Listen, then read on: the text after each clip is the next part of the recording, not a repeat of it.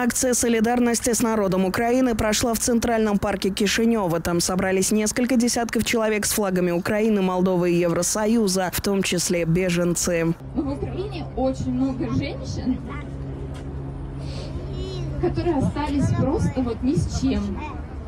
Есть родственники, у которых уже забрали уже там на войну.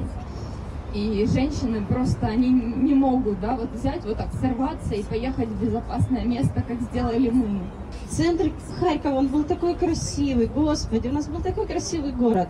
Там руины. Я не знаю, как долго, как мы, какими деньгами мы будем это отстраивать. К антивоенной акции присоединились ветераны вооруженного конфликта на Днестре.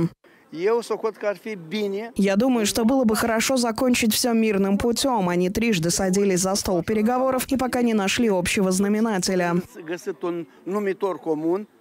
Eu am venit după să împărtășesc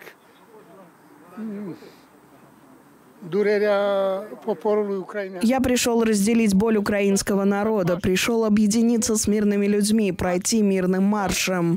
Акцию провело унионистское объединение «Униrea Одип». Vrea să transmită un singur mesaj, faptul că Republica Moldova pledează pentru pace. Мы хотим послать единый сигнал о том, что мы выступаем за мир. Народ Республики Молдова мирный. Как бы ни старались некоторые сеять конфликт, войну и мутить воду, мы хотим мира. Восстановив его, мы найдем демократические средства и инструменты для продолжения борьбы идей демократической борьбы за идеи или за сторонников. Pentru valori sau pentru susținători. С начала войны в Украине убежище в Молдове попросили более 4100 человек.